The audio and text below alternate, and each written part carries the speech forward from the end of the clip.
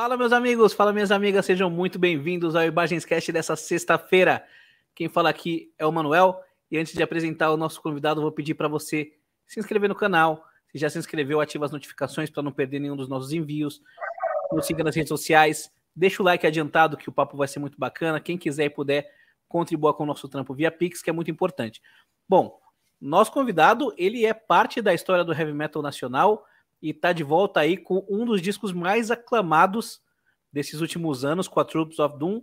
Estou falando do Jairo Guedes, um dos guitarristas mais históricos do Brasil. Um prazer ter você aqui, Jairo. Obrigado por prazer ter aceito é o convite. Cara. Obrigado pelo convite aí. Obrigado. E a gente conversava antes de, de entrar no ar aí que você está na correria, começo de ano geralmente é tudo muito parado. Como é que está essa organização dos shows da Troops of Doom? Tá rolando?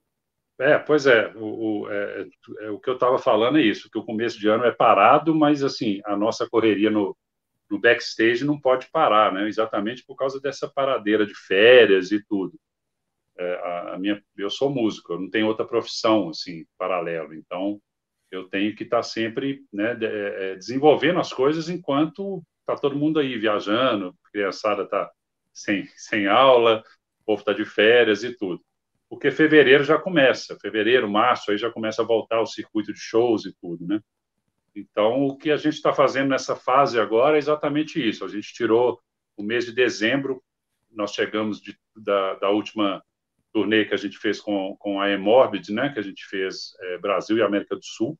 A gente chegou em dezembro, resolveu dar um tempo, ficar 30 dias por conta da família, e agora, em janeiro, a gente já voltou para a correria. Então, agora é, é, é isso. Eu estou trabalhando nessas, nesse, nesse, nesse, nesses detalhes de backstage aí, de marcar shows, de, de resolver equipamento e, e né, patrocínios e etc. Né? Então, e além de compor também, estou sempre compondo. O pessoal está sempre, a gente está sempre mandando umas ideias um para o outro aqui no WhatsApp. Né?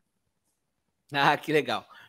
É, já quero começar falando sobre a Troops of Doom, porque assim, quando a banda foi formada, você declarou, eu não me lembro onde, mas você declarou que, abre aspas, a ideia é explorar uma sonoridade mais primitiva que transporte o ouvinte para aquela época quase de forma nostálgica, se remetendo a meados dos anos 80 ali, comecinho da década de 90.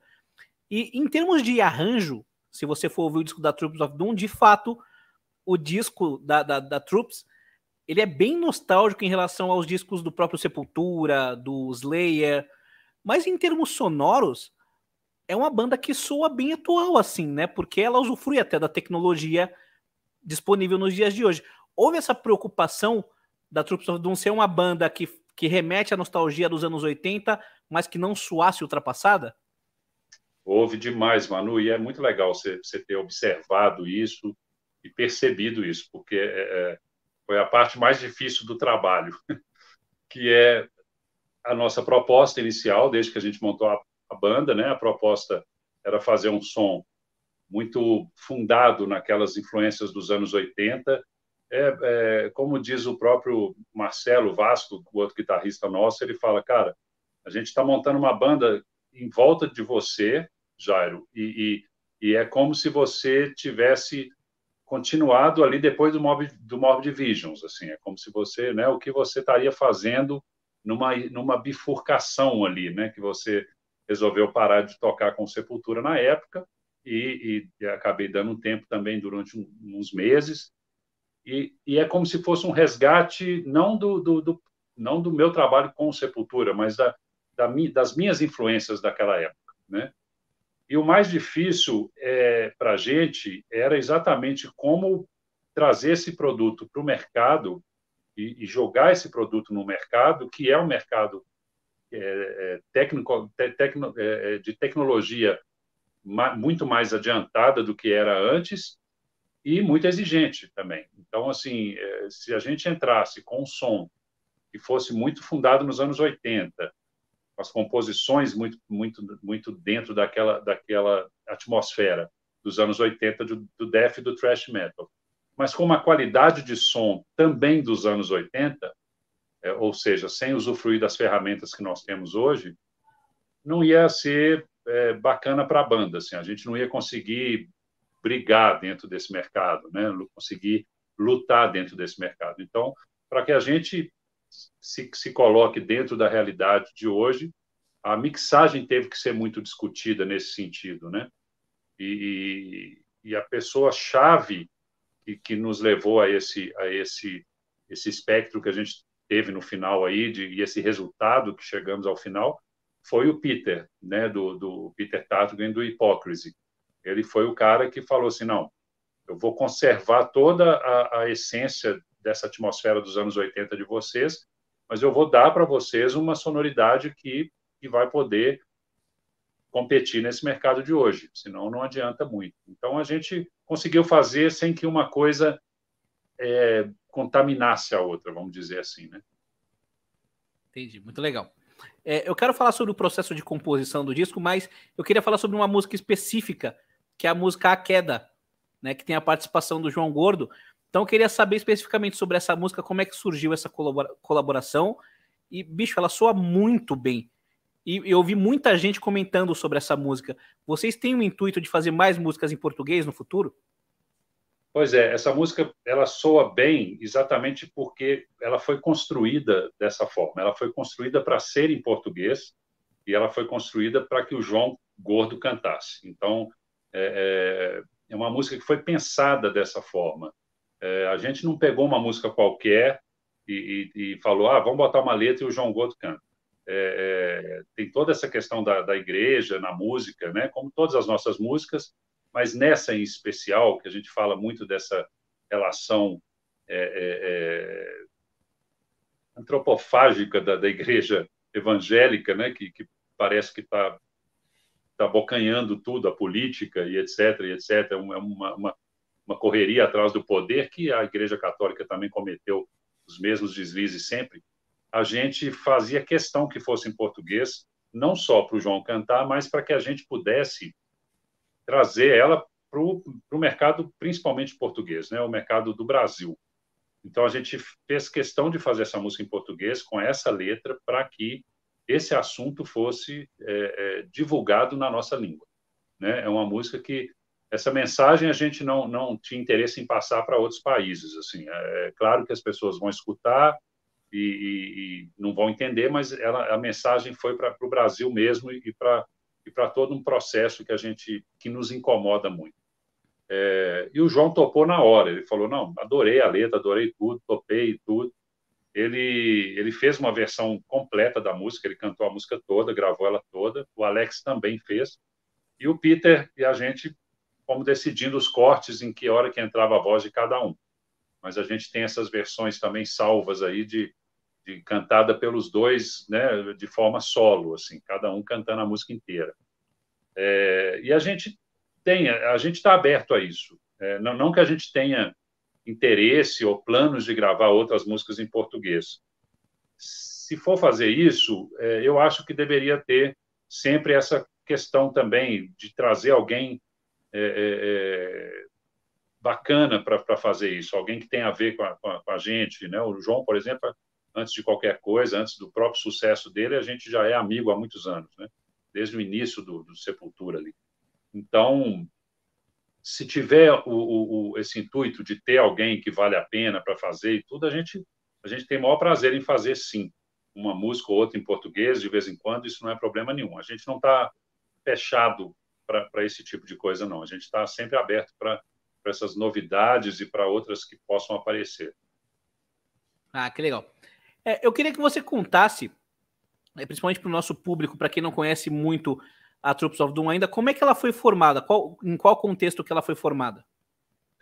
Bom, a gente se formou no dia 14 de março de 2020 e foi o pico da, da do início da, da, pandemia. e eu não lembro exatamente o dia da semana, eu lembro que foi dia 14. É, essa semente, eu preciso falar da, da, da semente que foi plantada há sete anos atrás que trouxe uh, uh, o Troops of Doom há, há, cinco anos atrás. Trouxe a, a, a essa possibilidade de ser de ser desenvolvida a banda e, e tirar do papel há cinco anos atrás, há, há dois anos atrás. É, em 2015, é, eu, o Alex e o Marcelo chegamos a formar um, um projeto que não tinha nome é, que a ideia era de regravar algumas músicas de minha autoria com Sepultura, ali do Bestial até o Morbid Visions, é, e fazer algumas músicas também é, autorais naquela pegada do, do Morbid Visions e do Bestial. Isso em 2015. É, a gente não tinha um baterista na época definido, eu ainda estava procurando uma pessoa. A minha ideia era chamar até alguém de fora, eu estava conversando com outros bateristas, com o Roy Mayorga, com outras pessoas que, que poderiam fazer parte disso. E, e, o vocalista, o Alex até então era o baixista. O vocalista nessa época, em 2015, era a gente convidou e aceitou o nosso convite foi o, o Stian Chagrat do Dimo Borg. Uhum. Então era um projeto muito bacana e, e a gente começou a, a desenhar essa, essa essa história toda em 2015. E o Stian deixou muito claro que, que ele não poderia fazer shows ao vivo. Ele falou, cara, eu, eu, o Dino Borg me toma todo o tempo da minha vida e eu ainda estou lançando o Chrome Division, que é uma banda paralela minha e vai fazer turnê e tudo. A gente já tem gravadora, já tem contrato e tudo.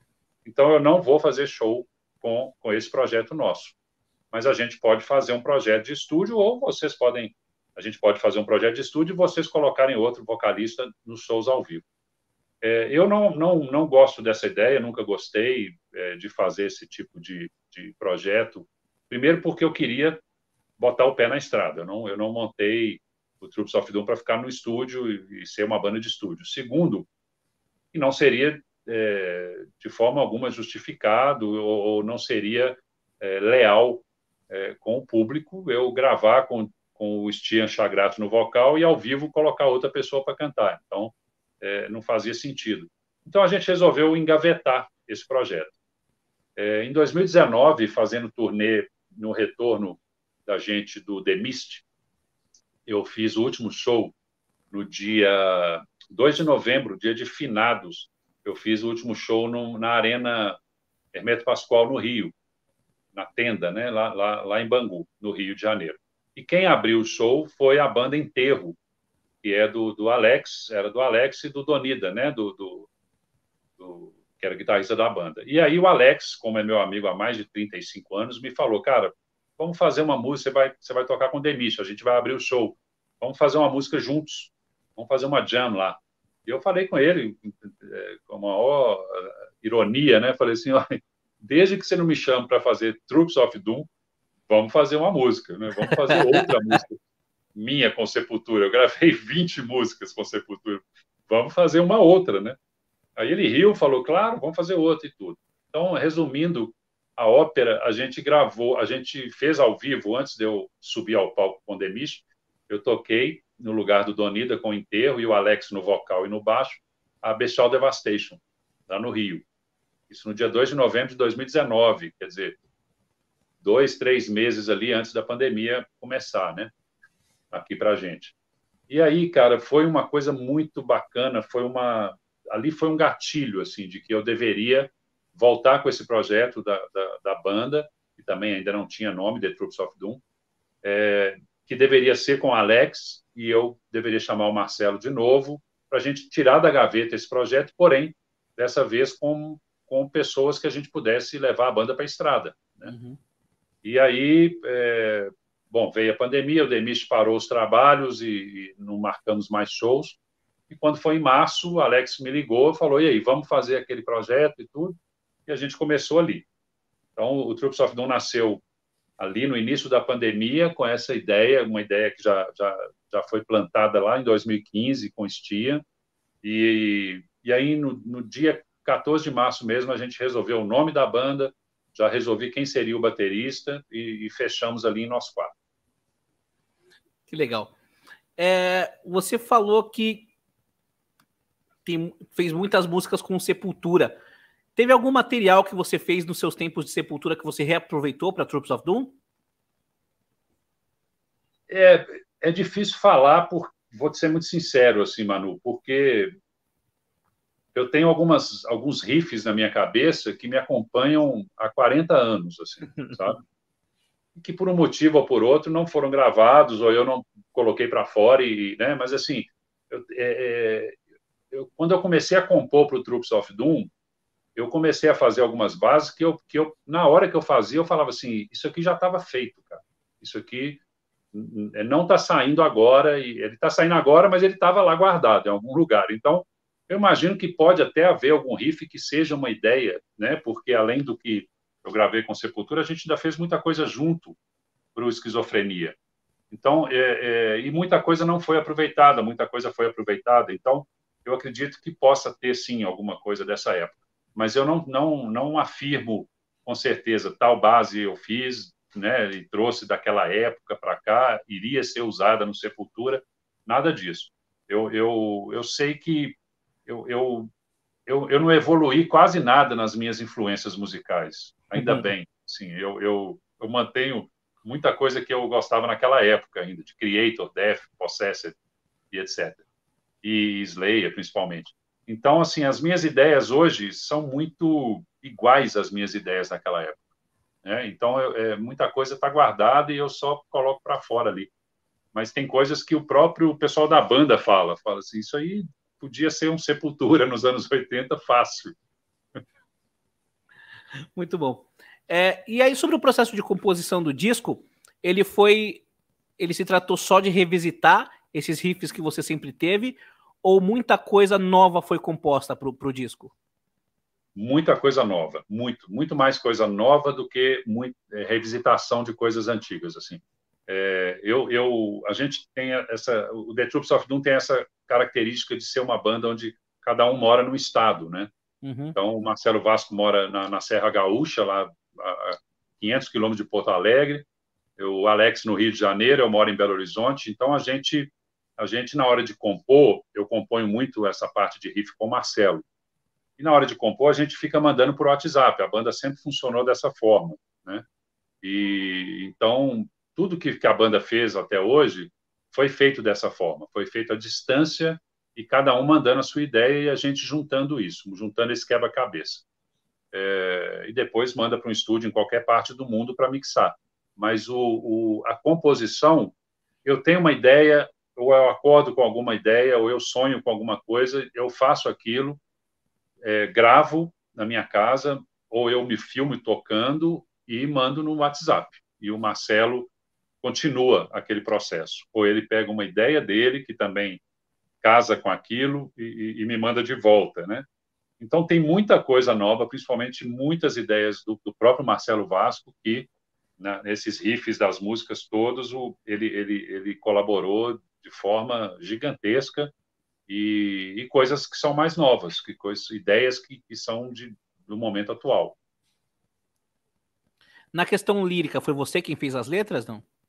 Eu fiz muita coisa, a gente fez juntos os três, eu, eu, o Marcelo e o Alex, e o Alex também fez muita coisa. Então eu diria que é 30% ali eu fiz, 30% o Alex, 30% todo mundo junto, assim. Né? É, é, uma, é, uma, é uma, é uma verdadeira democracia. Assim, a gente deixa cada um dar suas ideias, o que não, não, não vale a pena a gente corta e o que, o que vale a pena a gente, a gente absorve, e isso sem o menor, sem o menor, é, menor problema de ego ou, ou de qualquer coisa. Ninguém quer fazer mais ou menos que ninguém, então a gente se dá muito bem nessa questão aí. Que bom. E assim, obviamente que o Antichrist Reborn ele foi lançado faz pouco tempo, né? Mas como você mesmo já disse que é, nesse começo de ano você acaba compondo muita coisa, vocês já pensam em lançar algum novo material? Vocês conversam sobre isso não? A gente conversa sobre isso e, e mas a gente tem que tomar todo um, um cuidado com a questão da, do timing das coisas, né? Então, por exemplo, a gente sabe que a gente teve uma pandemia que ainda está é, esse processo ainda está sendo digerido, o mercado ainda está acostumando de novo né, a essa volta e tudo. Está havendo, inclusive, um, um, um, atropelamento muito grande de bandas, de shows, de festivais e tudo, é um, um em cima do outro, um depois um dia depois do outro. E isso isso é até prejudicial né, hoje. Né? O público não tem dinheiro para ir em tanto show. Né? É o que está acontecendo a gente sempre reclamou da falta de shows e agora está acontecendo o oposto. A gente tem tantos shows, principalmente internacionais, e o público tem que optar por um ou por outro. Então, isso está prejudicando muitas bandas nacionais e muitas bandas iniciantes, né? É, então, a gente pensa muito nisso, mas essa questão do time, a gente tem que prestar muita atenção. A gente sabe que o Antichrist Reborn, ele ainda não foi aproveitado 100%. Assim, a gente ainda não tocou em vários lugares, a gente ainda não fez os, os videoclipes que a gente gostaria de, das músicas desse uhum. disco, exatamente de todas as que a gente gostaria. Nós fizemos só de, de três músicas, tem uma, uma ou outra que a gente ainda quer fazer, e a gente quer fazer shows ainda desse disco, é claro. Então, é, é, a gente vai fazendo tudo ao mesmo tempo. A gente vai fazendo turnê, fazendo show, viajando. A gente pretende ir para a Europa esse ano divulgar também o álbum. O, o Antichrist Reborn é o nosso primeiro álbum full já com uma gravadora que é de Portugal e, e a Alma Mater, né, que é do Fernando, né, de propriedade do Fernando Ribeiro, vocal do Munspel. E, e o Fernando mesmo fala: não, esse ano vocês vêm para cá, a gente vai fazer coisas junto aqui, nós vamos botar vocês na estrada. Porque ele também tem essa preocupação. Como ele lançou esse material, ele quer divulgar esse material da melhor forma possível. Então, se a gente lançasse algo é, em pouco tempo, esse timing iria dar errado, é, iria prejudicar né, a própria venda do outro e a divulgação do nosso primeiro álbum. Então a gente vai compondo e vai vendo o que, que vale a pena. De repente lança um single daqui a algum tempo. É, pode lançar algo também como um bônus track numa, num relançamento, né? Todos os nossos álbuns, é, os três álbuns, né? Os, os dois primeiros EPs e o Antichrist Reborn, em todas as mídias, fita cassete, vinil e CD já acabaram. Então, Caramba. a gente já está na segunda prensagem de todos eles, né? É, então, assim, a, a, a, ideia é que, que a gente prossiga com shows, assim, né? E a gente, de repente, vai relançar uma terceira prensagem de algum álbum, a gente pode colocar um bonus track. Então, a gente, a gente tem material guardado para isso, que ainda não foi devidamente gravado e, e editado para ser divulgado. Entendi. Uh, Jair, é o seguinte, vamos falar um pouco agora sobre o começo da sua jornada. Então, queria que você contasse como é que você começou a tocar guitarra e quais foram suas principais influências no começo. Bom, eu comecei a tocar guitarra, eu comecei a tocar violão em 78, 79, por aí, é, porque eu ouvi uns, eu era muito moleque, eu devia ter 11 anos, assim, eu ouvi uns discos da minha mãe, do Elvis Presley, e, e me apaixonei por isso, pelo, pela música do Elvis Presley. Foi a primeira coisa próximo de um rock que, que eu ouvi, né? E então eu comecei a tocar um violão que era da minha mãe, inclusive. Minha mãe era dançarina e tudo. Então essa eu já eu já respirava essa essa, essa atmosfera de arte dentro de casa. É, e aí, a partir daí, eu comecei a descobrir outras coisas. Quando eu descobri bandas como Alice Cooper, Kiss, Van Halen, bandas assim, ali no final dos anos 70, 79, 80, eu comecei, eu pedi uma guitarra para minha mãe, ganhei uma guitarra e comecei a tocar ali, a tirar essas músicas e tudo. Em 83 para 84, mais ou menos, eu, eu já tinha uma banda que chamava Mantas, com meu irmão, que é, e é um amigo que foi criado comigo, e eu com a família dele, a gente se considera irmãos e a gente montou uma banda, e esse Mantas a gente tocava cover de coisas assim, do, do, do, do primeiro EP do Full Fate, é, alguma coisa do Kiss, umas coisas assim, Iron Maiden, do Killers ali e tudo. Então a gente a gente aprendia muito fazendo essa, essa, essa, esses covers, né? Não tinha nada autoral ainda, né? É... E aí, a partir daí, Aí eu já, em 84 para 85, eu já estava conhecendo os irmãos Cavaleri e a gente já. Aí a coisa ficou séria, né? Vamos dizer por aí. Mas eu comecei no violão lá no Elvis Presley, assim. É, assim, na época era muito difícil ter acesso a instrumentos musicais e a equipamentos. Como é que era essa questão? Era demais, era impossível. É, é, na época era, era, era impossível, não era impossível, mas era muito difícil ter acesso a vinil né, que era a única. Você tinha a mídia de fita e vinil, você não conseguia. É, Van Halen lançava disco lá fora, esse disco não chegava aqui. Então, assim, você não tinha esse mercado aqui no Brasil. Aí começou, ainda era o governo militar naquela época, né, desde né, de, até o, o Mob Divisions ali ainda era o governo militar. E então, depois que começou a abertura e tudo. É, o que a gente tinha eram alguns amigos que tinham uma vida mais abastada, que tinham mais grana, que o pai já era já era classe média ou, ou, ou classe alta e tudo. E essas pessoas traziam vinil de fora, né, debaixo do braço. Importavam ou viajavam para fora e traziam. Então a gente gravava as fitas através desses amigos, né?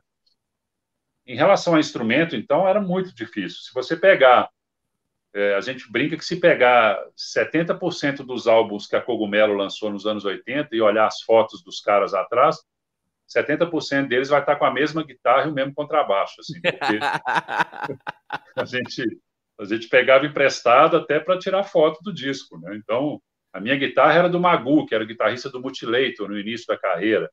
É, depois a minha guitarra era do, do cara que era do, do, do Armagedon, que ensaiava com Sepultura. Então, assim, era, era, era uma troca, a gente emprestava para os outros, né? Até o sarcófago emprestava coisas para a gente. A gente ensaiou, o Sepultura já ensaiou na casa do pessoal do sarcófago, porque eles tinham bateria, a gente não tinha. Coisas assim, né? É, é, essa troca, isso existia muito e de uma forma muito natural e muito amigável, né? Então, tudo era muito difícil.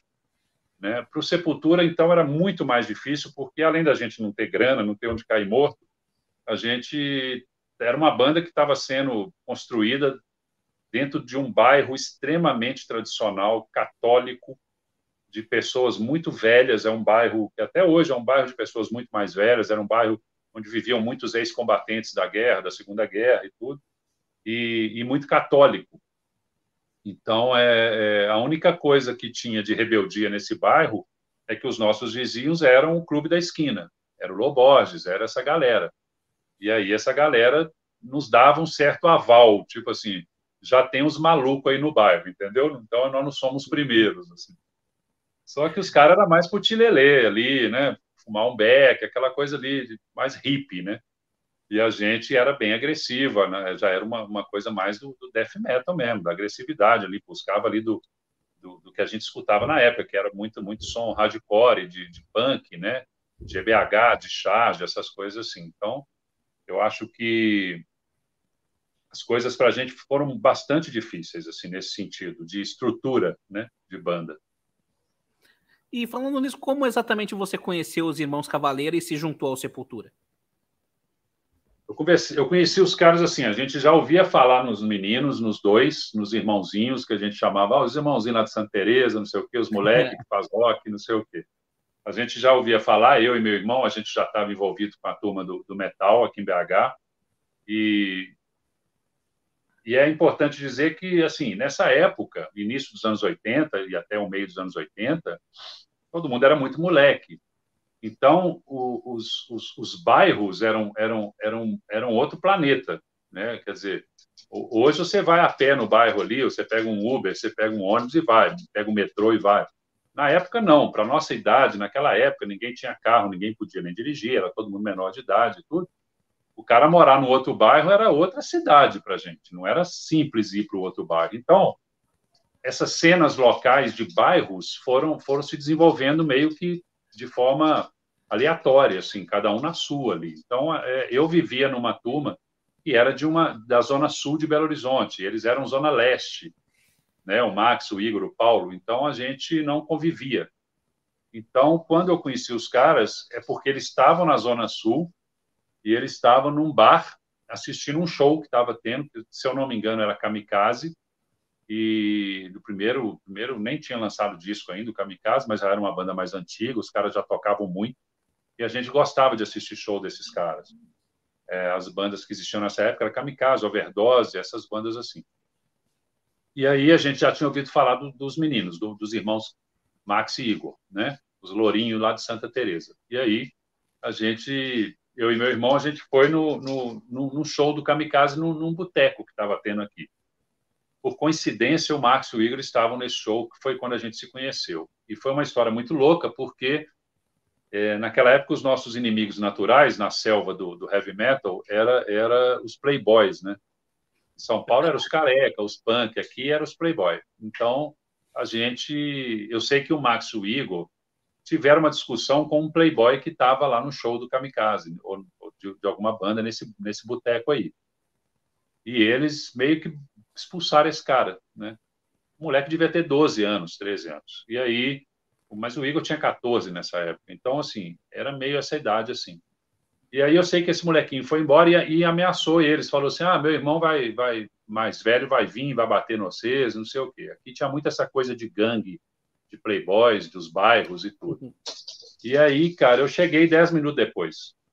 E eu, com 16 anos, já tinha 1,92m, assim. Então, os caras, quando eu bati nas costas do Igor, eu vi ele de colete, cabelo enroladinho, lourinho, parecia o anjinho da Mônica, eu, vi as costas, assim, coletes que tu, sei lá, é, Slayer, não, devia ser alguma coisa mais, mais velha, assim, de charge, alguma coisa assim, pintado à mão, assim. Eu bati nas costas dele, ele com 1,50m, ele olhou para trás, assim, pro alto, falou, eu falei assim, você quer o Igor, não é? Porque eu já conhecia a história, né? E aí ele falou: Não, não sou eu, não. Eu falei: Claro que é, velho. Aquele louro ali na frente, está de costa ali, é seu irmão, Max. Ele: Não, não é, não, não é meu irmão, não. Achou que você ia bater, achou que era o irmão mais é, velho. Achou que eu era irmão mais velho do Playboyzinho. Aí demorou uns 15 minutos para a gente alinhar nossas agendas aí. E, e, aí, aí meu irmão conversou, e ele também, aí os caras, não, porque teve uma confusão, a gente achou que você vinha para bater na gente. Eu falei, cara, que isso, tá doido. E aí os caras falaram, falaram assim, ó, a gente montou uma banda há pouco tempo, né? E, e nós demos o nome de Sepultura e a gente é, já ouvi falar no você também. eu sei que você toca e tudo. Vai lá, né? Vai lá para você ver o ensaio. E aí eu fui. Na semana seguinte eu estava lá e vi o ensaio dos caras e foi uma zona, foi uma barulheira, foi uma loucura. Não tinha nada com nada. E na época o Wagner Antichrist era o, era o vocalista, o Max só o tocava guitarra. É. É.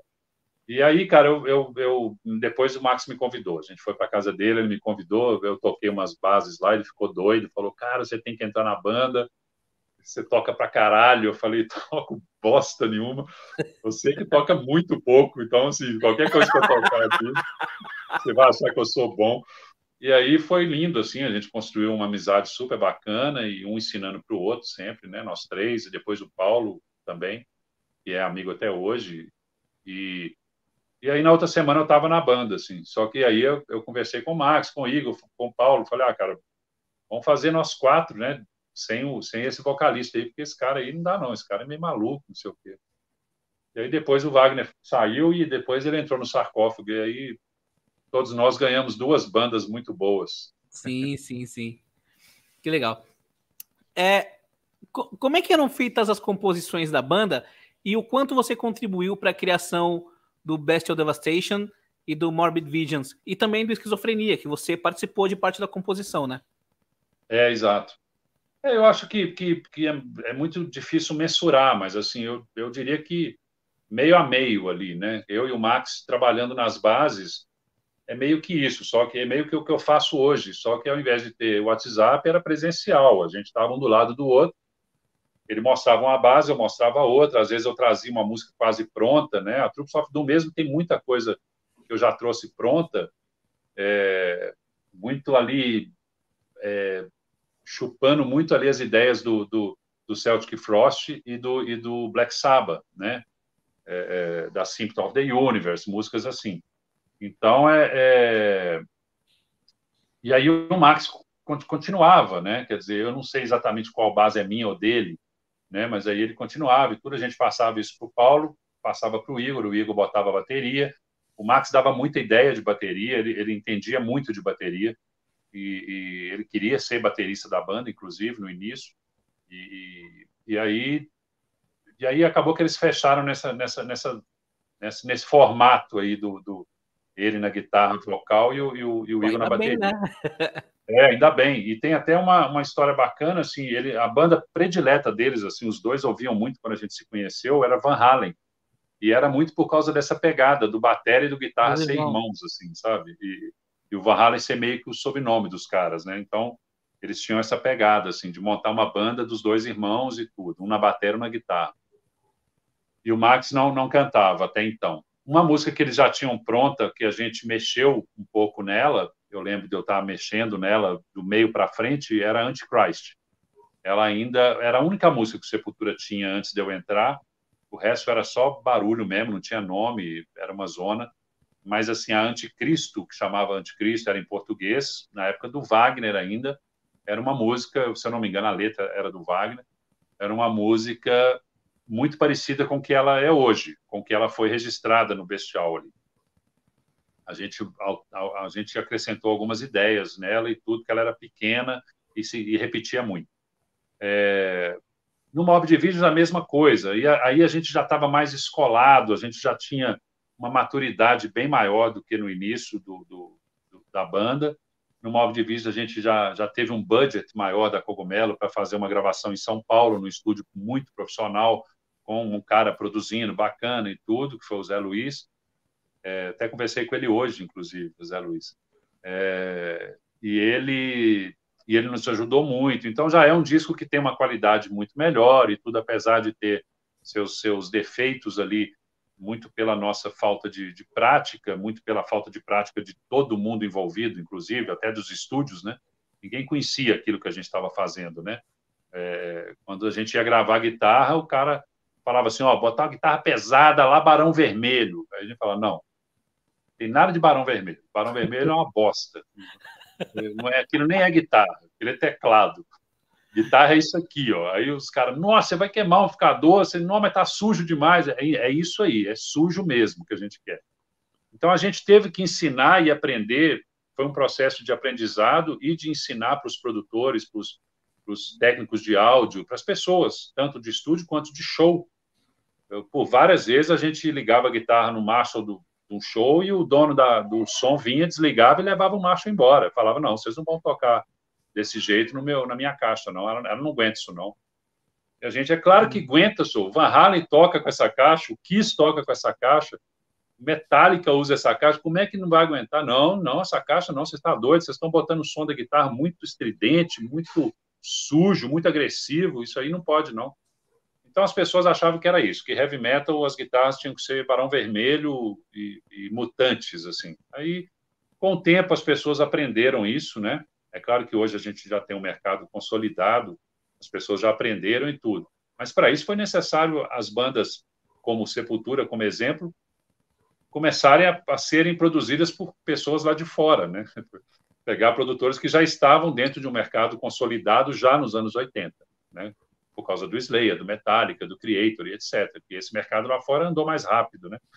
Aí, então é isso, assim, a gente, em termos de composição, era muito dividido, assim. Era um pouco meu, um pouco do Max, passava as bases para o Igor botar a batera, e, e o Paulo também, é, o Paulo sempre dava poucas ideias, mas, mas sempre pegava as músicas ali rapidaço e tudo, não errava ao vivo nem fudendo, e a gente e a gente ia levando, assim. Eu errava ao vivo direto, assim, porque guitarra era complicado, o som era uma bosta. Né? Então, é... No Esquizofrenia, eu, eu, eu escuto Esquizofrenia, eu sei uma, algumas bases que eu fiz. Duas que estão numa música X, aí a terceira, que era da mesma música, passou para a música Y. Então, assim, quando o Andrés entrou, o Andrés já era tecnicamente muito superior a mim como guitarrista, ele já entrou e já pegou alguma coisa pronta, mas ele fez ali 60%, 70% do álbum, foi colocando coisa dele e uma técnica muito mais apurada, né? Então, os solos, ele colocou os solos dele e tudo. Então, é, é, já é um disco que tem uma, uma, uma técnica melhor, assim, né? E, e, também já tem uma produção de estúdio melhor, porque os caras já, de estúdio já estavam mais escolados também. Muito legal. E como é que era a cena heavy metal no Brasil nessa época? É verdade que existia uma rixa entre o Sepultura e o Sarcófago? É, é lenda? É verdade? Como é que era a cena nessa época? Não, a, a, essa rixa do Sepultura com o Sarcófago, ela nunca, ela nunca aconteceu de fato. De uma, é, eu, eu, digo que é uma guerra fria, é igual a Guerra Fria, assim, ninguém nunca bateu em ninguém. Mas tinha uma guerra fria ali, com um pouco, com o Sarcófago, porque era uma banda que parecia muito com, né, era uma outra banda que estava muito dentro do nosso espectro ali, do, do estilo, da atmosfera e tudo. Mas a, a, confusão ali, na verdade, foi com o Wagner, né? É, não foi com as pessoas do sarcófago. ela foi muito mais com o Wagner por ele ter sido um ex-membro da banda. Então, ele mesmo, na época, é, optou por ser inimigo do Sepultura, vamos dizer assim.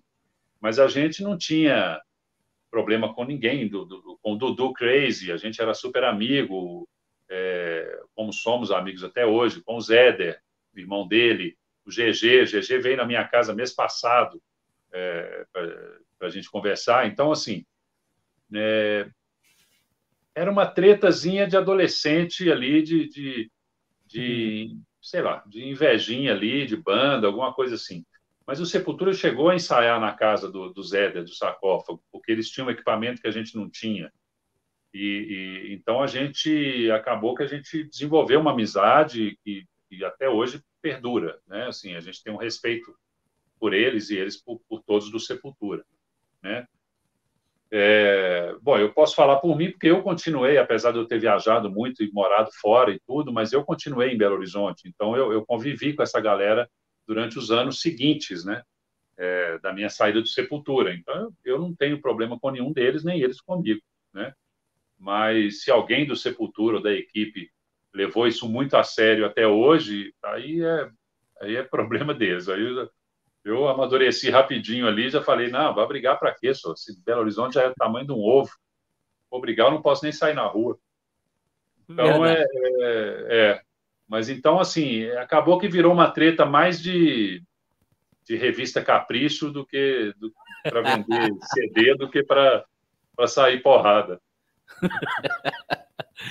tá certo. E como você disse, esse, esse, esse embrião do Sepultura, esse começo do Sepultura, ele se dá ainda no fim da ditadura militar.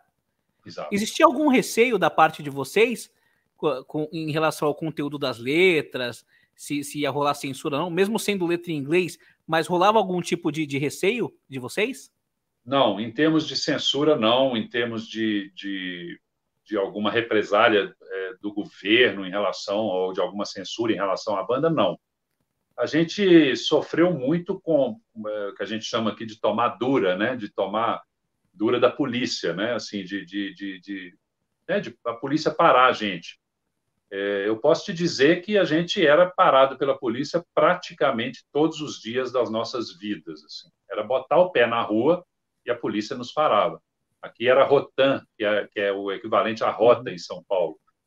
E eles não eram nem um pouco agradáveis. Nunca foram, na época. Então, assim, eles tinham um poder de polícia é, é, apoiado pela ditadura, né, pelo governo militar, e a gente tinha um pouco isso que foi passado pelos nossos pais, assim, olha, se a polícia quiser, pega vocês, põe dentro do carro e desaparecem. Eu não vou te ver nunca mais, meu filho, entendeu? Então, é claro que a gente pensava nisso, mas não como banda, mas porque a gente tinha esse estilo de metal mesmo, se vestia como metaleiro, roupa rasgada e etc. Mas, por um outro lado, é, os que os caras procuravam era, era droga, né? Mas, por um outro lado, isso também nos ajudou muito, porque a gente via que as pessoas não nos levavam a sério, sabe? Assim, tipo, eu já passei por isso muito, assim, eu já passei por isso em aeroporto na Colômbia, assim, de do policial virar e falar assim: "Ah, não, pode passar. Cara igual você, tatuado, com essa guitarra nas costas aí, de roupa de couro, é lógico que você não ia estar com cocaína no bolso, né? Pode passar. A gente está mais preocupado em pegar irmã de caridade, padre, grávida, quer dizer, coisas que, que, que possivelmente são, são é, é, é fantasias para passar a droga mais fácil. Então o cara falou: não, isso aí é banda de metal, pode passar. Então, então, assim, é, é, é, na verdade, a gente acabava que os caras davam um chute na canela, davam uns tapas na cabeça. Você não tem nada, não, né? Você não fumou, não, né? Só, cospe aqui, Respira aqui, deixa eu ver o cheiro. Ó, isso aí tá com cheiro de maconha, hein, menino? Não sei o que lá. Quem que é seu pai? Onde você mora? Aquelas coisas. A gente ficava ali com medo, dava uma, como diz o outro, a gente malhava o esfíncter um pouquinho na hora, mas depois passava, né? Dava só uma travadinha assim. Depois, o cara ia embora, a gente continuava a vida do mesmo jeito. Nunca fomos. É, assim, a gente foi. A banda foi presa uma vez, mas assim, por outro motivo, eu, eu não lembro direito se a gente estava A gente estava com uma turma, eu não lembro se o carro que a gente estava era um carro roubado, um carro que foi procurado, uma coisa assim. Mas não é nada, é, foi no ABC, não teve nada a ver com, com droga, nada disso, não. Até porque eu, na época do Sepultura, eu sou o mais velho de todos. É, na época eu bebia muito, eu sempre bebi. Eu, eu, sou alcoólatra, mas eu não bebo mais. Mas eu sempre bebi durante a minha, minha vida. E o Max, o Igor e o Paulo, eles me enchiam o saco, porque eu bebia e fumava cigarro. E aí eles falavam assim, cara, para com isso, cara, coisa horrorosa. Olha lá, já vai beber. Olha lá, já vai fumar essa porra desse cigarro fedorento, não sei o quê. Os caras sempre foram muito caretas, assim. Eles não gostavam de nada, sabe? O Max era viciado em maticoro, que é um refrigerante que a gente tem aqui em Minas e tudo. Então, é, é os caras gostavam disso. O Igor gostava de Yakut. É, é eu já vi, nego já ofereceu droga no camarim para o Igor, no Rio de Janeiro. O Igor falou assim: quanto que custa essa droga, essa cocaína? Ah, custa 100 reais ao Igor. Então, você só vai ficar no nosso camarim se você trocar esse dinheiro dessa droga em Yakut e trazer para mim. Então, assim, tinha coisas assim, sabe, dos caras, dos cara, depois que eu saí, fizeram sucesso para caramba, se tornou uma das maiores bandas do mundo. É claro, tiveram seus suas experiências aí, né, e passaram a beber, inclusive, tudo, alguns muito, alguns menos, mas aí já eram mais adultos, já eram adultos, né, já eram casados e tudo. Mas na minha época do Sepultura, ali, durante esse período do governo militar, inclusive, só eu que fumava cigarro e bebia. Os caras, e eu tomava uns, umas coisas farmacêuticas, assim, mas os caras não, os caras eram bem caretas, assim. Então a polícia nunca achava nada com a gente. A gente era careta mesmo. Legal. Já era o seguinte, no Avesso Podcast, que você participou e eu assisti, muito legal, por sinal, você falou que saiu do Sepultura para ir trabalhar como gerente de uma imobiliária. Mas eu queria saber o que exatamente fez você tomar a decisão de sair da banda. Foi no meio do, do esquizofrenia mesmo, né? Foi no, foi, é, no meio da, da, das composições ali, né? Porque as composições de esquizofrenia elas se confundiam, igual eu te falei agora. É, toda banda funciona assim. Você vai, você não para a banda para começar a compor um álbum novo. Você vai uhum. compondo esse álbum novo a partir do momento que você acabou de gravar um, o primeiro álbum, né? Ou o segundo. No outro dia você já tem uma ideia de música, só que não dá tempo de gravar naquele que já está pronto. Então Exatamente. você vai para o próximo. Então o esquizofrenia ele já começou a ser escrito logo depois que a gente gravou o Mob Divisions, né? não tinha nem nome do disco, não, não chamava esquizofrenia. Nós estamos compondo ideias para um próximo álbum. É, e, e, e, ele foi, e a gente foi escrevendo isso durante a turnê dos shows do Morbid Divisions, né? Quando acabou esses shows, quando acabaram esses shows e a gente teve mais tempo para compor e tudo, foi quando eu resolvi sair da banda. Foi no meio desse processo aí de composição, de ensaios, etc. Antes de voltar para a estrada. Eu tenho vários motivos para ter, ter pedido para sair, mas, assim, todos eles motivos muito pessoais, motivos familiares, motivos de, de, de cunho familiar, principalmente, tudo. É, nenhum, nenhum motivo foi por conta da banda ou de algum membro da banda, né? A gente sempre foi muito amigo, sempre se respeitou muito. Os caras me tratavam como um irmão mais velho e ajudava muito eles em tudo. Então, não, não, eu não tive nenhum motivo é, dentro da banda para ter saído da banda, né?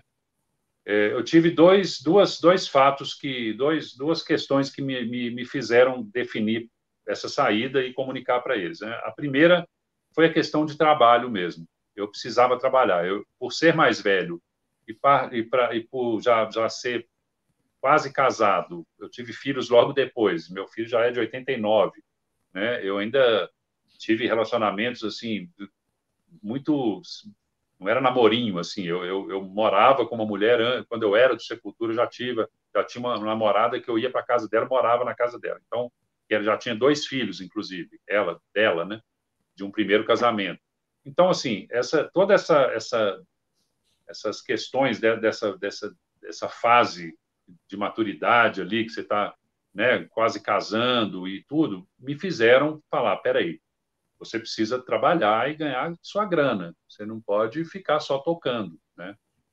Então, em paralelo à banda, você vai trabalhar. Eu poderia fazer isso com Sepultura e continuar na banda. Mas junto a isso, eu estava com outras ideias musicais também, eu estava querendo fazer outros estilos também. Eu sempre fui muito ligado no rock and roll, no blues, é, nesse estilo mais primitivo do rock, assim. E aí eu queria fazer umas outras coisas também. E eu percebi que ali naquela, naquele momento ali pré-esquizofrenia, a gente já estava percebendo que a gente estava crescendo muito e muito rápido, tanto no Brasil quanto notícias que chegavam de fora para a gente. Então, a gente já tinha muito contato com a galera de fora, a gente sempre conversou por carta com várias pessoas, né? A gente conversava, mandava carta com, com vários, com o Chuck do Def, com o pessoal do, do, do Possessed, com Sodom e etc. Pentagram do Chile, é, Animal da Argentina e várias outras bandas do mundo, é, Creator etc. Bandas que estavam no mesmo processo inicial ali do Sepultura. E, e com pessoas de rádio, pessoas de fanzine, tudo, e a gente foi percebendo que já tinha gravadora de olho, que já tinha pessoas querendo. O Max já foi para os Estados Unidos, já teve encontros lá nos Estados Unidos, depois voltou. Foi quando ele trouxe até uma guitarra para mim. É, e aí a gente foi percebendo isso, que a banda já estava é, é precisando tomar uma, uma, um certo direcionamento mais, mais é, profissional, assim, né? E foi nessa época que eu resolvi sair, porque eu percebi o seguinte: eu falei, cara, eu tenho esse outro esquema que eu preciso resolver, que é de trabalho, de família, de tudo. Agora que a banda vai tomar essa, essa guinada e as coisas podem acontecer, ou é uma coisa ou é outra. Então, assim, eu não vou conseguir levar as duas coisas. E eu sabia que eu ia ser um empecilho na banda se eu fizesse isso. Então, antes de gravar um próximo disco, antes de de firmar mais um contrato. Né? O, o, Esquizofrenia foi o último disco do contrato que tinha que cumprir com a Cogumelo. Mas ele já foi gravado já sabendo que a Roadrunner ia entrar logo depois. Então, assim, já tinha todo, toda uma conversação em, em, torno disso. Então, assim, eu, eu falei, cara, eu não vou dar conta disso. Eu vou acabar atrapalhando vocês. Então, é, segue seu caminho, conta comigo por que precisar, mas, assim, eu não vou, eu não vou, não vou com vocês, não. E aí, pô, foi foda, foi uma tristeza, foi uma choradeira, mas, mas a gente manteve a amizade, o respeito e tudo. E depois, até durante o processo de entrada do, de um novo guitarrista, eu, eu dei muito a, a muita força para a ideia do, do Andrés me substituir. Ah, que legal. É, eu já conhecia o Andrés lá, lá de São Paulo, a gente já convivia com ele. O pessoal do Esfinge, da outra banda. Ele já era também. diferenciado mesmo? ele já era diferenciado, ele já era diferenciado, né? O, o Silas também, o Silas que tocava com ele, Silas Fernandes, né? Que Silas hoje Fernandes, professor. Unidos, tudo, é. O Silas também já era um cara assim, mas o André já era diferenciado, já era um cara diferenciado nos dois sentidos, assim, tanto tecnicamente como músico, quanto como pessoa. É... O Sepultura sempre, é, na época, naquela época, a gente tinha essa preocupação, como eu tenho hoje com a minha banda de ter pessoas com a mesma energia envolvido com você ali, pessoas de energia boa, pessoas uhum. de caráter, pessoas né, de low profile, que não sejam, que não tenham problemas é, de, de, de, caráter etc. E o André sempre cumpriu esse papel muito bem, aliás, né? E continua até hoje. Então, é, é eu fiquei de uma forma é, a tristeza de não estar com meus amigos ali foi, foi, foi sendo, é, é, é, foi sendo é, aliviada por, esse, por essa certeza de que os caras iam dar certo com a pessoa certa no meu lugar. Né? Então, isso aí me, me aliviou bastante durante muitos anos. Assim. Que legal, cara. A, a partir da sua saída, qual foi o contato que você manteve com cada um dos membros da banda? E como é que você viu todo o sucesso que a banda atingiu posteriormente? É, eu, eu para ser sincero, eu sabia de tudo que estava acontecendo com Sepultura antes das pessoas saberem, assim, antes da mídia saber, antes das pessoas saberem, porque o Max me mandava tudo, me mandava carta, me, me ligava, é, não existia celular, não existia nada disso, né? Então, vocês continuaram meio que irmãos ali, né? Meio que irmãos ali. Eu ia para São Paulo quando eles mudaram daqui, quando, quando eles lançaram Esquizofrenia, eles foram para São Paulo e alugaram apartamento lá e, e ficaram morando lá. Então eu ia para São Paulo, eu encontrava com eles, né? A gente tinha um, um, um, um link muito forte, assim, uma, uma né? uma, uma, uma, uma convivência mesmo que a gente não, não queria abrir mão. Mas, assim, é claro que essa convivência teve, foi afetada por causa do, do sucesso. É claro que eles foram ficando cada vez mais é, é, é, ocupados com esse sucesso e precisando trabalhar mais e mais e cada vez mais longe de casa. Então, é, esse afastamento é mais do que normal, do mesmo jeito que eles tiveram que se afastar da própria mãe, do, da própria irmã e do, dos, dos, da família e dos outros amigos que a gente tem até hoje aqui, né? O grupo de amigos de, de Belo Horizonte, de São Paulo e etc. Mas isso é mais do que normal. É, o que, o que acontecia é que tudo que os caras iam conquistando, eh, eles mesmos me, me, passavam, assim, o Igor me ligava, ou então a gente encontrava, ele falava, cara, a gente vai assinar com a gravadora tal, cara, a gente vai lançar um disco assim, você não acredita quem que vai fazer a capa. Nós, Jarão, você não sabe quem que está produzindo o disco, fulano de tal, o cara fez tal e tal banda. Nó, velho, parece que eu, eu vou ganhar um patrocínio da Tama, não sei o quê, não sei o quê. Porque quando a gente estava junto, a bateria do Igor era uma fanfarra, era uma caixa tarol que um cara de uma, de uma escola entregou, deu para o Igor porque estava quebrado, é, aquelas de tocar em 7 de setembro, não era nem uma caixa profissional de músico, de, de banda, né? É, os tons foram doados pelo Marquinhos, que era baterista do GT Trio, que era uma banda de baile, de carnaval. Ele já era, já morreu há muitos anos, ele já tinha 60 anos de idade. Ele era vizinho do Paulo, e ouvindo o barulho do nosso ensaio, ele foi lá e ficou com dó. Falou assim: o que, que, é isso? Esse menino está tocando umas caixas de papelão, pelo amor de Deus. Vou dar um, uns tom velho que eu tenho lá em casa, um bumbo quebrado que eu tenho lá, ele pode usar. Então, assim, os pratos do Igor todos eram quebrados, eram todos pratos usados por outras pessoas, e quando elas encostavam os pratos, o Igor pegava. Então, a gente aprendeu a tocar assim. O Igor só foi ver uma bateria de verdade dentro do estúdio ou num show ao vivo, ele não, ele não, ele não conhecia até então. Então, a primeira vez que ele ganhou um kit de bateria de uma, de uma eu não me lembro agora se foi uma Tama, o que, que foi, ele já me ligou já falou, entendeu? Já, já, já entrou em contato, já falou, cara, ganhei um patrocínio, estou com a bateria minha agora, Signature, não sei o quê, não sei o quê. Então, essas conquistas, é, eu fui absorvendo essas conquistas naquela época, no, no início dos anos 90, final dos anos 80, é, como se eu fosse um quinto membro da banda, assim.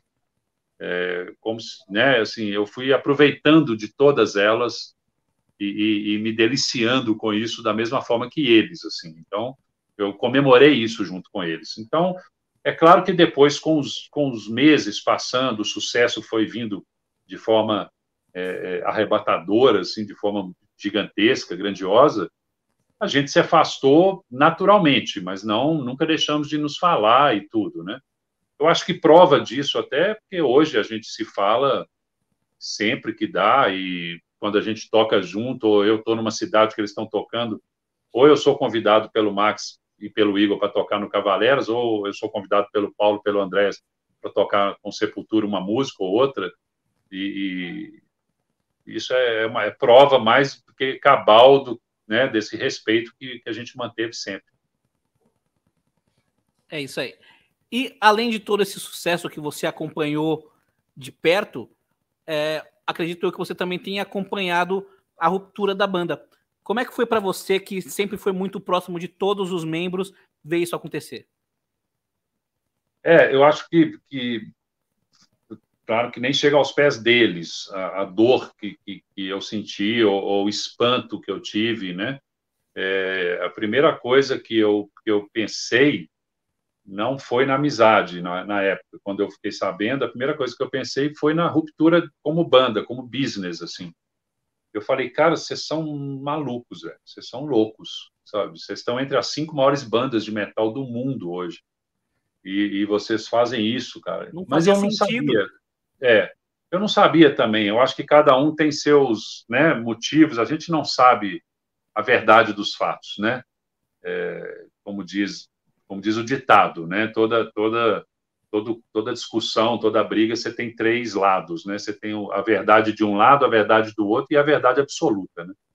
Que ninguém sabe. Então, assim, é claro que cada lado puxou para o seu lado a verdade, mas existe uma verdade acima de todas elas que eu não sei qual que é. Então, eu teria que estar lá para ver a discussão e, e numa posição é, totalmente de fora da banda também para entender. Então, quando chegou até mim isso, eu fiquei muito triste, muito triste, assim, muito triste e ao mesmo tempo eu fiquei muito impressionado com essa ruptura no momento mais hype da banda, assim, de maior sucesso da banda. Tinha que ser algo muito sério para que os caras abrissem mão de tanto sucesso, assim, né? Então, é... acabou que, que eu vou te falar, é, tem, uma, tem, uma, tem uma coisa que eu falo sempre quando alguém me pergunta assim, cara, quando sua mãe e seu pai morreram, você sofreu muito? Aí eu, eu sempre falo assim, eu falo, não, cara, eu não sofri muito quando eles morreram, não. Eu sofro um pouquinho todo dia, para o resto da minha vida. Então, assim, porque eu vou sempre lembrar deles, né? Todos os dias. Eu acordo e durmo pensando neles. Mas, assim, é um sofrimento que vem em gotas homeopáticas. É, e foi isso que eu senti quando eles tiveram essa ruptura. Assim, eu fiquei assustado com o lado do business, deles abrirem mão disso e, e, e, optarem pela ruptura, pela briga lá.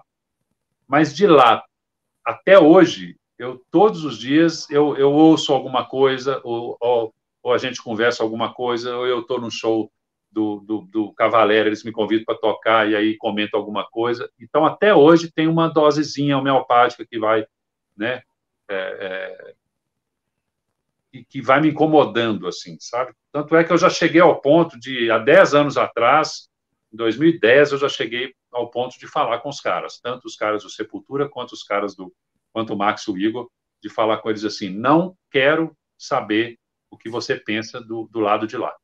Não, não comente comigo o que você pensa do lado de lá.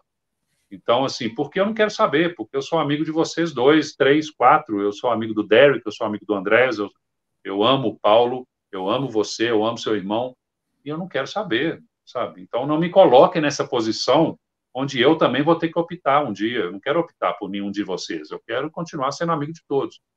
E aí, eles nunca mais fizeram comentários do tipo, né? Mas eu já ouvi vários, assim, de eu estar tocando com Sepultura de convidado e, e alguém, alguém me perguntar, ah, e aí, você tocou com os moleques lá, com os, com os irmãos Lourim lá, os cavaleiros? Falou, velho, ó, deixa para lá, deixa abaixo. Toquei foda-se. e o Max e o Igor também, depois de um tempo, eles pararam de comentar comigo. Tipo, Max falava assim, é, você tocou com os caras lá, né? Falei, Max, ó, relaxa. O que nós estamos fazendo aqui é uma coisa, o que eu faço lá é, uma, é outra coisa, e foda-se. É, o, bom é que você não tem nada a ver com isso, né? Nada, absolutamente nada. Exatamente. Não tem nada a ver com isso. é seguinte, depois de você sair do Sepultura e depois de você sair do seu emprego, que eu acho que você ficou o quê? Três anos nesse emprego de gerente, né? Por aí, é. Você é, se envolveu em algumas bandas. Eu gostaria de falar sobre duas delas. Em primeiro lugar, como é que foi a sua passagem pela banda The Mist? Como é que você entrou na foi, uma, né? foi muito bom, cara, porque foi uma, já era uma paixão que eu tinha quando eu escutei o Fantasmagória. É, de tudo que eu tinha escutado até então, é, de coisas da Cogumelo e, e, depois da minha saída do Sepultura ali, principalmente, foi o que mais me chamou a atenção foi o Fantasmagória, assim, de todas as bandas. Todo mundo me mandava, o pessoal da Cogumelo me chamava, ó, oh, escuta isso aqui, nós vamos lançar isso aqui, papapá. Eu achava tudo legal, mas, mas o Fantasmagória eu fiquei espantado, assim, pela qualidade, assim, e a linha musical, que era totalmente diferente das outras bandas, assim. E aí eu já me apaixonei por isso e pela poesia das letras do, do Korg, assim, que era diferenciado. Então, quando eles me chamaram, eu já tinha, eu já estava mais aí, aí os dois processos voltaram é, é, ao meu favor. Assim. Eu já estava mais acostumado com essa questão de eu estar trabalhando e estar botando dinheiro em casa. Eu já tinha um filho, já, já teria, meu outro filho nasceu em 94. Então, ali em 91, quando eu fui para o Demist, eu já estava é, é, já estava com a minha vida mais tranquila nesse sentido. Já trabalhava, já tinha tudo. Bom, e a outra coisa é que eu sabia que as bandas iriam trabalhar como o Demis trabalhou, mas nenhuma banda ia mais ser aquele boom como foi com Sepultura, né? Então assim, eu não ia ter que abrir mão de tudo, vamos para fora do país, vamos, vamos de forma mais é, elaborada, mais pensada, com calma, né? Tentar arrumar uma gravadora lá fora, blá, blá, blá. então e fazendo muito show no Brasil e tudo. Então isso não me atrapalhava. Então, de, de certo modo, foi mais cômodo para mim voltar a tocar com uma banda de metal e ao mesmo tempo uma banda de metal que me agradava muito por ser diferenciada. Eu sentia uma, uma energia e uma e uma atmosfera muito diferente no Demist do que nas outras bandas. E, e aí a gente começou a compor o The Hangman Tree, né, que é eu considero uma, uma obra-prima também e, e, tenho muito orgulho assim. Então é, foi super foi super tranquilo depois, né? Mas depois o Korg saiu, a gente continuou, é, aí continuou com o Marcelo, que era o, o baixista, ele passou para o vocal, a gente fez o Ashes to Ashes, né? Que já tem uma pegada mais meio meio industrial, meio ministry, de uma influência muito grande do ministry. E quando a gente estava fazendo a turnê do Ashes to Ashes, é, que teve esse racha do Sepultura. E o Marcelo, nosso vocalista e baixista, ele era iluminador do Sepultura no mundo inteiro. Hum. Então, quando teve esse racha, o pessoal do Sepultura, o Max e a galera que ficou no Sepultura, falou: olha, quem vai ficar com quem? Eles dividiram a equipe também. Então, por exemplo, o Silvio Bibica, né, que era road dos caras, eu vou ficar com o Andréas, vou ficar road do, do Sepultura. Quem vai para não sei o quê? E o Marcelo, optou por largar a iluminação do Sepultura e foi ser baixista do Max no Soulfly. Então, ele teve que abrir mão do Demist. Então, a gente ficou sem o Marcelo. Então, ficou só eu e o Batera, o Cristiano. Então, aí depois a gente desenvolveu o outro disco e tudo. Então, é, é outras pessoas. Então, acabou que a banda foi, foi até 97 ali, mas aí perdeu bastante dessa vibe aí do início do Hangman Tree e tudo e a gente teve, né, eu e o Cristiano, a gente teve é, outras, é, outras coisas que a gente precisava resolver fora da banda e acabou que optamos por fechar a porta da, do, do, estúdio da banda e, não, e parar de trabalhar naquele momento.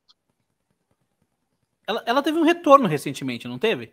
Teve. Em 2018, o Korg juntou com o Cristiano, me convidaram é, para retornar. A gente fez uma turnê durante o ano de 2019. A gente fez vários shows no Brasil, foi muito bacana um desses shows, que foi o último da turnê, responsável pela, pelo gatilho que deu origem ao The Troops of lá no Rio. É.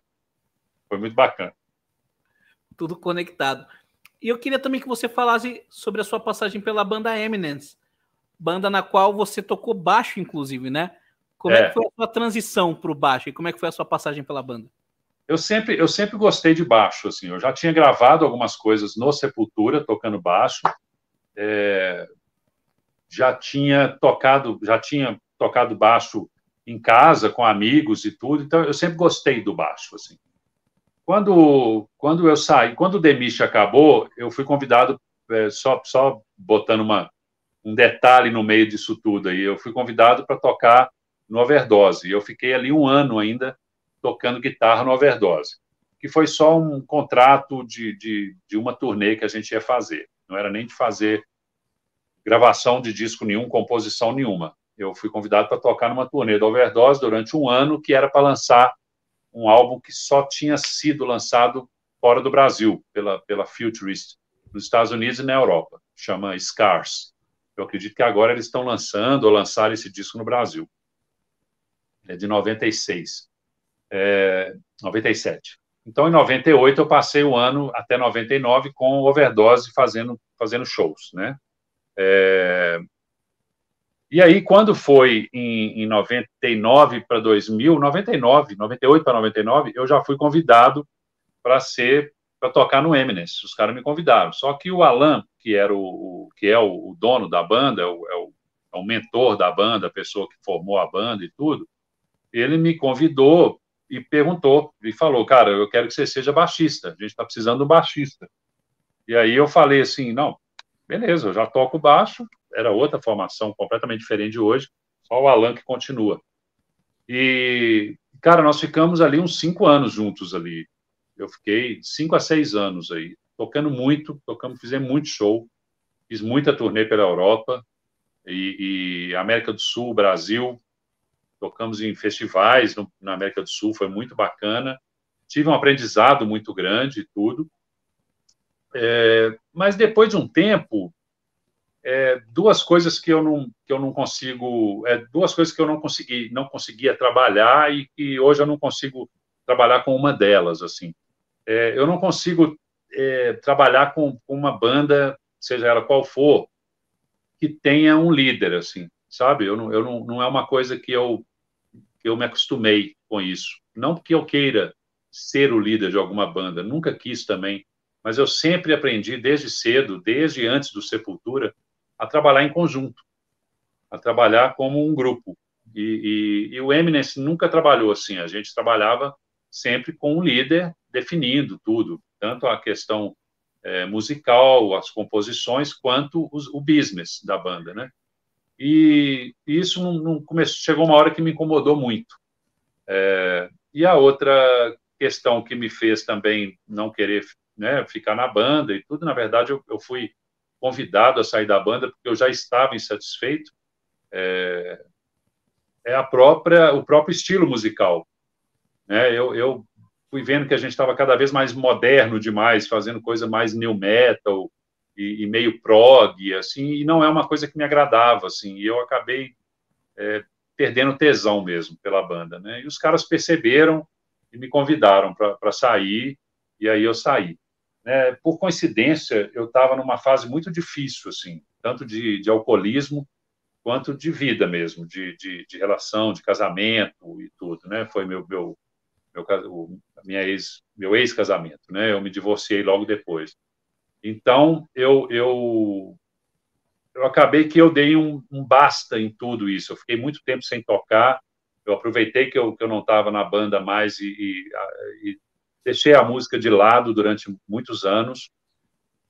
É, me divorciei e tudo. Depois eu fiz tratamento, eu fiz terapia, depois fiz outros tratamentos, fui para o AA também e tudo. Então, assim, depois tudo ficou maravilhoso, assim, tá tudo lindo. Mas eu passei por uma.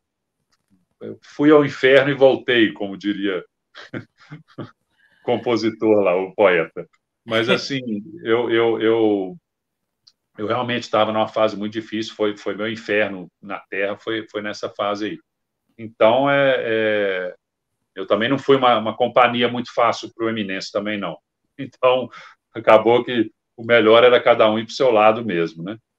Bom, é, uma coisa que me ajudou muito nessa, nesse período, logo depois que eu saí do Eminence, fiquei parado um tempo e me divorciei e tudo, foi o convite que eu recebi, já que eu tinha tocado baixo no Eminence, e todo mundo comentava muito que a, minha forma de tocar baixo era muito bacana, era muito especial, assim, eu, eu, eu pegava, eu, eu, eu, tinha duas, eu, eu tinha duas, é, é, é, como é que fala, referências como baixista, assim, e eu sempre fiz questão de, de não de copiar, mas de me influenciar muito, assim, de, de me basear muito nessas duas influências.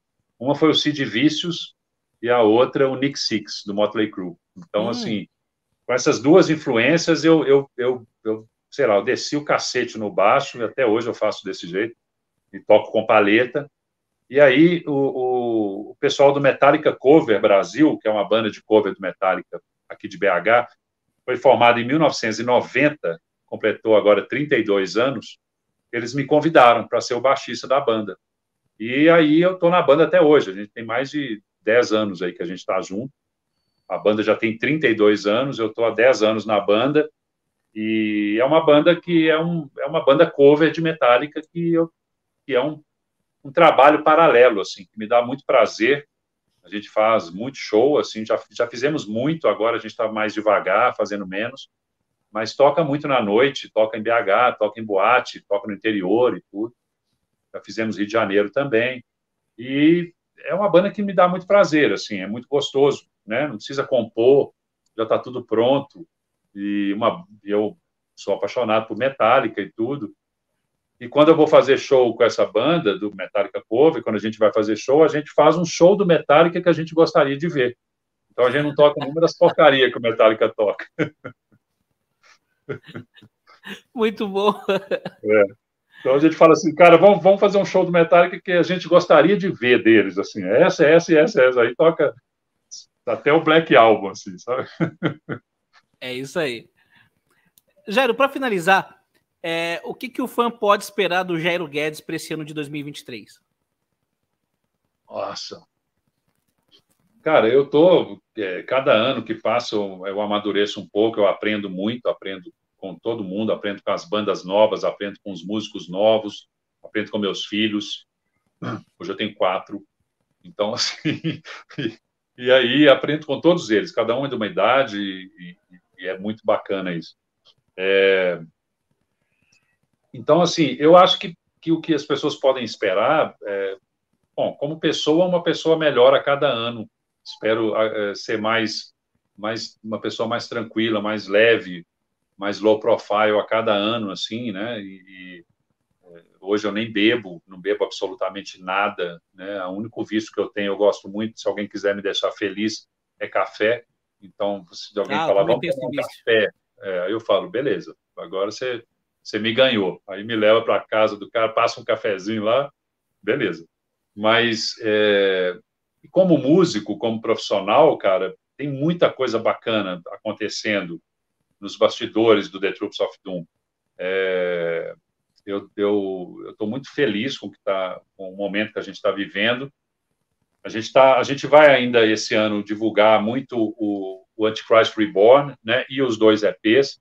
Nós temos um show em São Paulo é, no dia 11 de fevereiro, só o Troops of Doom. É um show exclusivo da banda no Sesc Belenzinho. E quem, quem nos ouvir, quem estiver nos acompanhando, espero todos lá, por favor, vamos encher a casa. Vai ser um show só do Troops of Doom e a gente vai revisitar os três álbuns, né, o nosso último álbum e os dois EPs, e fazer, claro, uh, tocar as nossas, nossas regravações do, de músicas minhas com Sepultura, do Bestial e do Morbid Visions, e vai ser muito bacana esse show. E é, depois nós temos vários outros shows que a gente está marcando para a gente fazer. É, possivelmente vai ter uma segunda perna da turnê com, Morbid, com o I Am Morbid, com Pete Sandoval e o David Vincent, o Bill Hudson é, é, e, o, e o Rich Brown. E foi muito bacana a experiência. A gente fez vários shows no Brasil e na América do Sul, mas a gente está devendo vários shows e eles estão querendo voltar para a gente continuar a fazer. Fortaleza, Maranhão, é, em outros lugares no Brasil, Brasília, fazer Colômbia, Bolívia, México, são vários lugares que a gente ficou é, devendo isso aí. Estava na agenda, mas a gente precisou parar, as duas bandas precisaram parar no meio do caminho. Então tem muita coisa boa para vir, para vir por aí. Videoclipe também. É, eu já sou, é, já já tenho o prazer e, a, e, o orgulho e a sorte de ser patrocinado pela Solar Guitars da, da Suécia, né, do, do, do, do Ola England, e agora eu assinei um novo patrocínio de, de, equipamento também, eu não posso divulgar ainda, mas daqui uns 15, 20 dias eu vou estar divulgando também um novo patrocínio de fora, que eu estou muito feliz também, muito satisfeito. Então, é, tem muita coisa, muita novidade para vir, cara. A gente vai, vai aos poucos vai divulgando isso nas nossas redes sociais aí. É isso aí. Pessoal, essa foi a nossa entrevista com o Jairo Guedes, lendário guitarrista original de Sepultura e que agora está quebrando tudo com a Troops of Doom. Jairo, agradeço imensamente por, por você ter aceito o nosso convite, um prazer enorme ter você aqui. Eu peço desculpas aí pela uma hora e vinte que eu tirei do seu dia. É que quando o papo é bom, ele vai fluindo mesmo. Ah, com certeza. O papo foi bom para mim também. Tanto quanto eu. tempo é seu aí para você se despedir e deixar o recado que você quiser deixar. Manu, muito obrigado pelo convite, cara. É, minhas portas estão abertas quando você quiser, só chamar. É, e é isso, cara. Eu quero que todo mundo aí siga a gente, o The Troops of Doom, nas nossas redes sociais. É, no Instagram, é, The Troops of Doom, tem o arroba é, JGuedes, G-U-E-D-Z, também, se quiserem me seguir, vai ser um prazer eu procuro sempre responder os meus, meus fãs, os meus amigos, os meus colegas, da, da, da forma mais rápida e, e, sempre que eu posso eu respondo. Então, é, por favor, insistam, eu vou, vou estar sempre dando a atenção que, que todo mundo merece. E sigam os, todas as redes sociais aí, no nosso site também, www.thetroopsofdoom.com. Lá tem o merchandise da banda, tem datas de show, tem tudo lá certinho. Vai ser um prazer receber vocês aí. Grande é abraço a todos. Obrigado aí, Manu. É isso aí, pessoal. Não deixem de, de, conferir o trampo da Troops of Doom e apoiar, é muito importante. Espero que vocês tenham curtido. Se gostaram, deixem o like, que é muito importante. Se inscrevam no canal, ativem as notificações, nos sigam nas redes sociais. Quem quiser e puder, contribua com o nosso trabalho via Pix e aguardem os próximos vídeos e as próximas entrevistas, que vem muita coisa boa por aí. Beleza? Até a próxima. Falou.